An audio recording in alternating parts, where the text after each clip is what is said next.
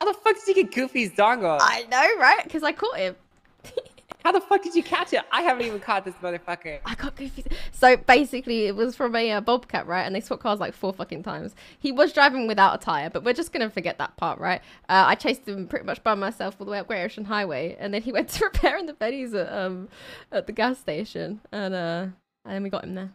Then you fucking got him. Got him. I've got his dongle. Hell yeah, dude. Nine. You got you got that fucking pussy. You know, he all Yes. he does is he thinks he's so cool because he drives cars that are better than ours and Uh-huh. he can turn in a corner well. But Mhm. guess what? You can't escape the bullet. Exactly. It's Exactly. faster than a stupid car. Uh huh. It was like Well, an good shit, I'm hour long proud of you. chase. It was great. Thank you. You should keep that as a trophy. and Oh, I let anyone take will. it from you. Oh, I'm keeping it. Hell yeah. Oh, sorry, Captain. Okay. go go go. You go. get some money first, though. Okay. Good shit, Candice. Thank you.